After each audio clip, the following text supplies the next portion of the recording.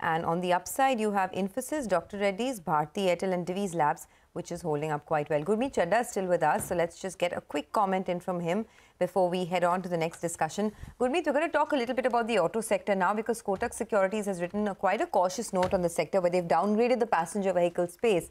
Uh, are you cautious as well here? There are, of course, a few pockets which are quite bright, the likes of M&M, etc. But in general, how are you feeling about autos as we head into the new year?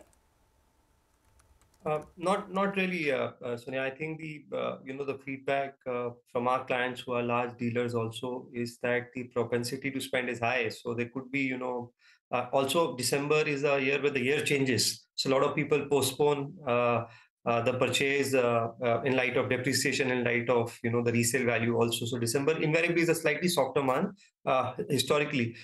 two wheelers we like TVS. I think it's been a good turnaround in two wheelers if you compare it to Bajaj and and Hero. Uh, you know, so so their premiumization and mix continues to do well. Uh, iQube uh, is likely to the production is likely to be ramped up to almost now 10,000 units, and their their plans of ultimately getting to 25,000 units by the uh, by FY24. Uh, the overall mix is good. I was looking at the uh, the margin last quarter; they were able to be in double digit despite all the headwinds. Uh, so that's something which has done well, and it's been a little more prudent capital allocation policy as well. Their captive NBFC also seems to be doing pretty well, which is TVS Finance.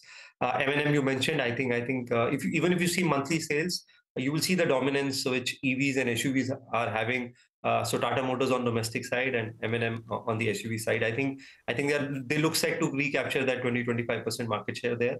Uh, and uh, selectively some some auto ancillaries uh, and, and, some correction has happened. If you see from the peak uh, in M&M also or in some of the other names also I mean they're down about 10 15% already.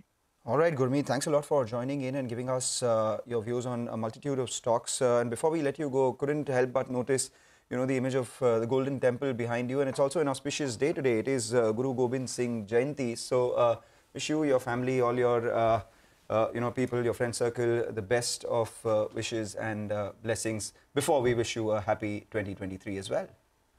Thank you. Thank you, Manglam. Wish, wish everyone. May Guru Gobind Singh Ji bless us all. All right. Thanks a lot, Gurmeet, for joining in. Have a great one. Uh, well, eh, the pre-opening rates have now settled, uh, settled lower by about 70 odd points. The Sensex is down 270 points.